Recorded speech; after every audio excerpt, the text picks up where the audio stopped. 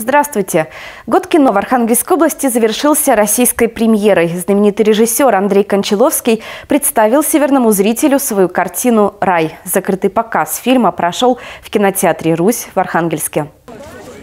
Красная ковровая дорожка перед кинотеатром «Русь» не пафос, а знак уважения к почетному гостю. Вот на нее ступает режиссер Андрей Кончаловский. В Архангельске он не впервые. У меня тут родные люди вообще уже.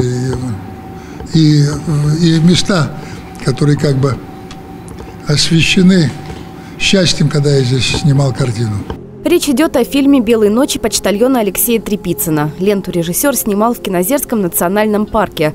Главными героями стали местные жители. На премьеру новой картины Кончаловского из деревни Вершинина приехал тот самый Алексей Трепицын. Правда, теперь уже не почтальон. Пожарной охране работаю. Здесь в Архангельск ездил уже три раза учиться. Героиня новой картины Кончаловского – актриса Юлия Высоцкая. Ради рая девушка лишилась волос. Знаете, если я вас побрию на голову, вы сразу измените настроение. Это абсолютно гарантирую. Ненадолго, может быть, но изменится.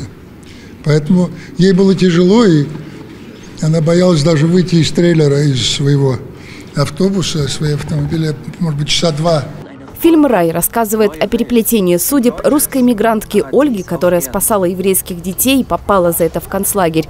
Здесь и француз Жуль, и немецкий офицер Хельмут. Суровый взгляд на ужасы нацизма. Фильм мастерски снятый в черно-белом цвете, передает реальность концлагеря, поражает силой образов и актерской игры.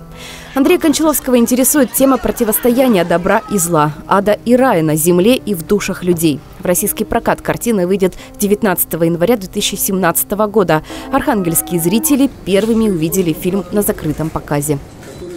Особо ценю наши отношения, наши встречи и то, что еще удается вот, э, вот из этих встреч извлекать возможность пофилософствовать и где-то погрузиться в эту жизнь, как сказал Андрей Сергеевич, без полкорна всему нашему городу Архангельску, всем, кто любит настоящее вот такое философское искусство под названием кино. На 73-м Венецианском кинофестивале фильм «Рай» получил награду «Серебряный лев». Сейчас работа российского режиссера номинирована на «Оскар». Северянам же Андрей Кончаловский пообещал – это не последняя их встреча.